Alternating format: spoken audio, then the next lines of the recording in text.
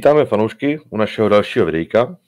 Bohužel uh, při natáčení tohle videa se nám nějak špatně zaznamenal zvuk, takže je zvuk eh, ze hry nepoužitelný.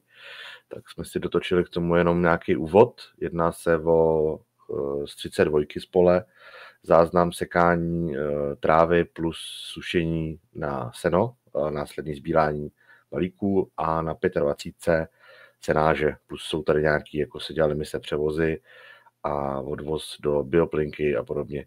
Takže si video užijte a příjemnou zábavu.